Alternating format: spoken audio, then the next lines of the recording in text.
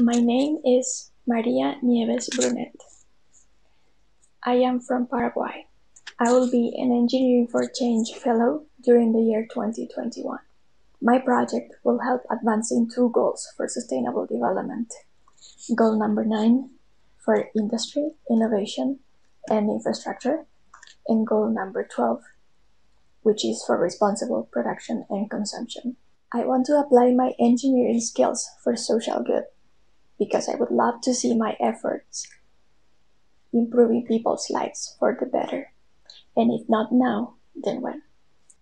As an E4C fellow, I will be working with ISAIC, the Industrial Sewing and Innovation Center located in Detroit, United States. I am most excited about this fellowship because it will provide the training and the initial experience, and I will be ready to take even more projects for global development in the future. Through this fellowship, I hope to open my eyes to global problems. I hope to learn from previous solutions, understand our needs better, and help innovate for a more equal and sustainable future.